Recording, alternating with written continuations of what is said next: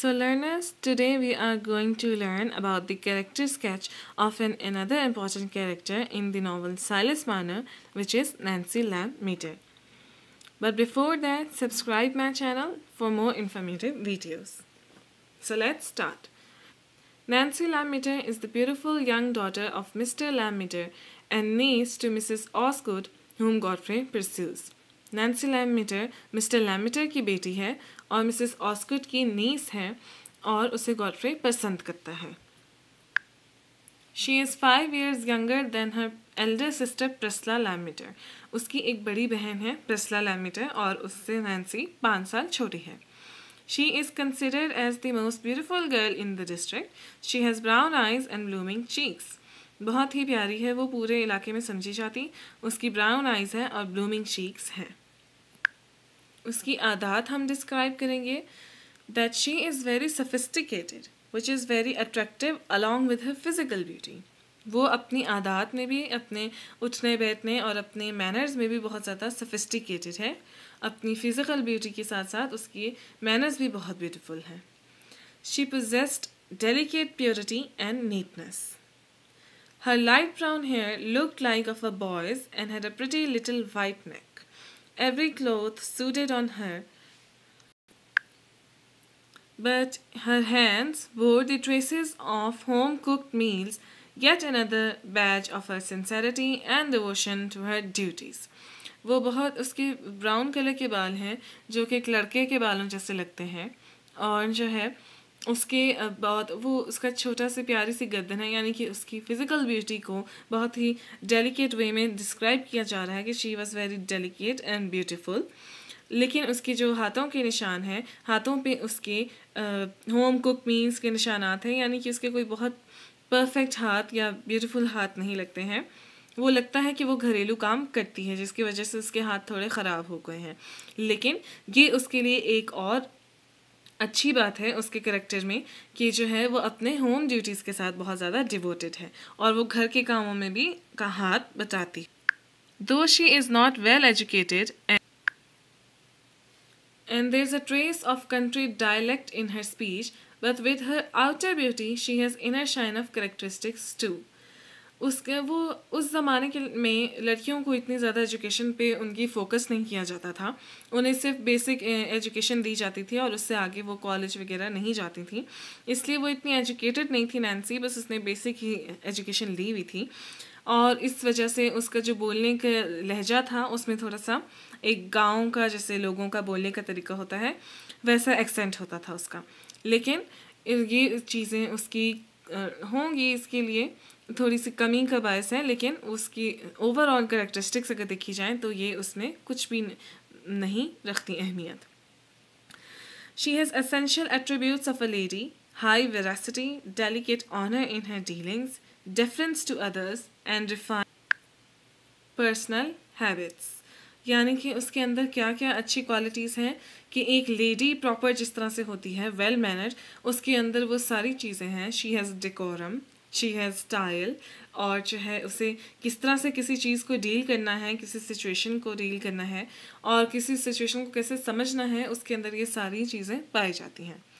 She values moral rectitude thrift and hard work she is often accelerated by Godfrey's attention in part of status he bodies यानी कि मोरली भी उसके अंदर जो अखलाकियात पाई जाती हैं और जो थिंकिंग पाई जाती है, वो भी उसको, वो उसको बहुत ज़्यादा अहमियत देती है कि इंसान की सही सोच क्या होनी चाहिए, सही गलत में इंसान को फ़र्क पता होना चाहिए।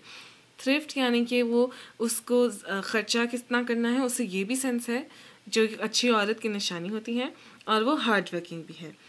गॉडफे जो उसे अटेंशन देता है, उसकी वजह से उसे खुशी भी होती है। She is flustered by that flattered by that also because क्योंकि Godfrey अमीर भी है so it's natural when a rich person is giving you attention so ladies become flustered she sometimes acts stubborn and behaves like a child as she wants to wear Priscilla the same dress as her so that they could look like real sisters कभी कभी ज़ाहिर बात है वो अपने घर में छोटी है अपनी बहन से तो वो कभी कभी बच्चों की तरह से भी बिहेव करती है और ज़िद्दी भी हो जाती है पर वो इतना नुकसानदेह नहीं होता है जिस क्योंकि जैसे कि पार्टी में वो प्रिस्ला को अपनी बड़ी बहन को चाहती थी कि हम दोनों बिल्कुल एक जैसा ड्रेस पहने ताकि हम सिस्टर्स लगे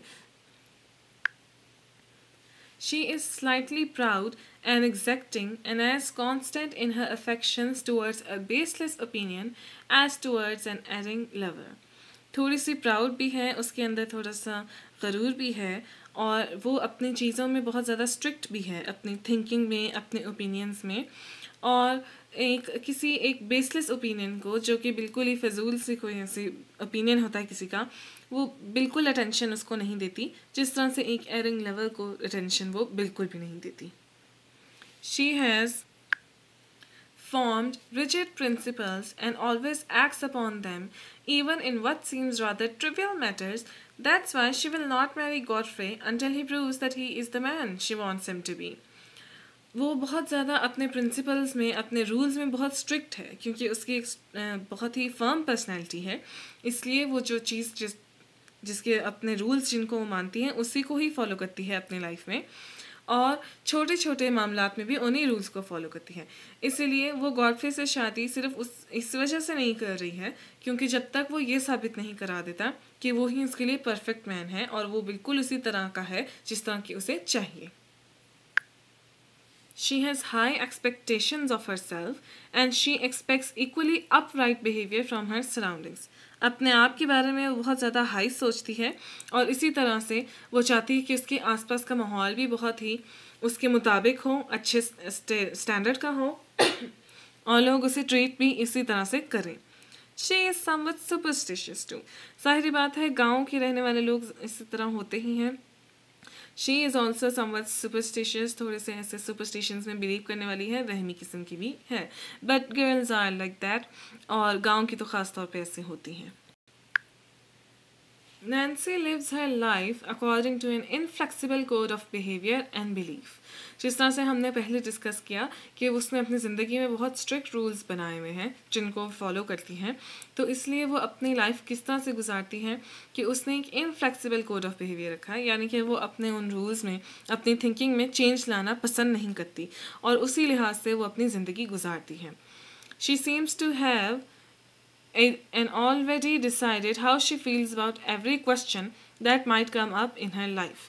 और उसने क्योंकि उसने कुछ रूल्स रखे हैं अपनी लाइफ में, इसलिए वो ऑलरेडी सोच के रखा हुआ है उसने कि कोई भी ज़िंदगी में सवाल उसके आगे आएगा तो कैसा रिएक्ट करना है उस पर वो उसे ऑलरेडी पता है।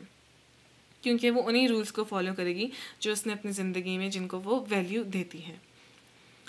बिकॉज़ एनी thing else would represent a sort of weakness in her own eyes और इसके, इन रूल्स को अगर वो फॉलो नहीं करेगी तो कोई भी उसके अलावा चीज़ वो अपनाएगी या तरीका का जो अपनाएगी वो वो उसको एक वीक वीकनेस समझती है।